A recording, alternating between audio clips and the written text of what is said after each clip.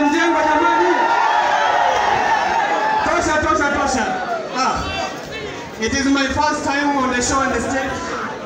But naona nikaa kuna watu familia hapo hivi. Kama wewe demu. Mambo? Ah, unakaa familia? Unakwanga kwa TV? Oh, pole pole pole. Nimeconfuse tunakuwa na kipindi ya wanyama.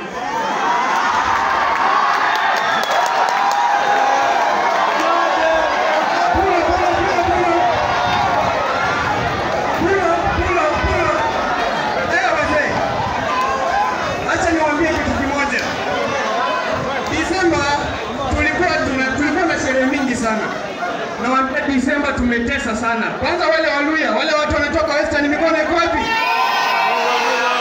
Wasa, mnaona hao watu? Mnaona hao watu? Ai, watu huwa wanafuja sherehe. Hata kama kuna sherehe haipo, wanalazimisha lazima ikuwepo. Kama juzi nimehudhuria sherehe moja walikuwa wanaadhimisha huko Western. Ati mara ho sijui wanasherekea mtoto amemea meno ya kwanza.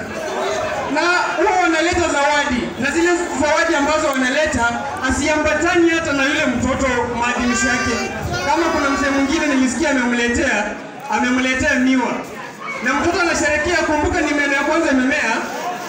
Nakumbuka tena huwa kuna panga na vyakula vingi sana, huwa wanapanga foleni ndefu, unaweza kuta foleni imekata mpaka nyuma ya jikoni kule, na kadukia mwenyewe vyakula vingi vinakuwa pale, yote ni sehemu na huwa na sembe na sukuma, na ukiangalia zile sembe zote ni tofauti.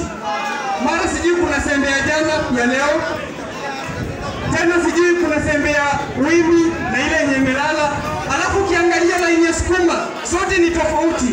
Mara kuna sukuma aina kitunguu, sukuma aina nyanya, alafu ukiangalia chai pia inapanga tofauti sana. Mara unasikia kuna chai ya Dikon hainanga majani, ukiangalia chai ya mwekazina hainanga sukari, ukiangalia kunakwanga na chai ya watu wa SDA ya soya, wasiharibu sauti. Wapi nuru jamani?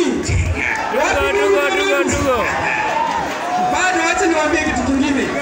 Baada ya Disemba tunaingiaga Januari, na unajua Januari inakuanga ya msoto sana. Unaweza kuja umekaa kwa nyumba, unashtukia umeanza kusoma karatasi ya chumvi, unasikia umeanza kusoma karatasi ya chumvi. Kwanza huku kwetu Kitale kwenye nafaka kuna mtu anaitwa Mabonga. Huyu Mabonga hivi juzi juzi nimemkuta akiwa niumatia mama anauza avocado. Jamaa kwa zile ako zile za madhe, hiyo avocado unauza shilingi ngapi? Madhe anamwambia ni tati. Ati ah, na ukitoa ukitoa mbegu mfuko imeingia hadi zile sehemu ambazo hawezi expect watu wa bagei watu wana bargain. Kama kwa hospitali, that is the only place you are not allowed to bargain. Easy. The only place you are not allowed to bargain is hospitali. Juzi nimekuta mwenzangu Mabonga akiwa kwa hospitali, unajua alikula ndengu na unajua kupika ndengu huwa inaiva ina design data inaiva ina design data zingine zinaiva kama popcorn. So alikuwa anakula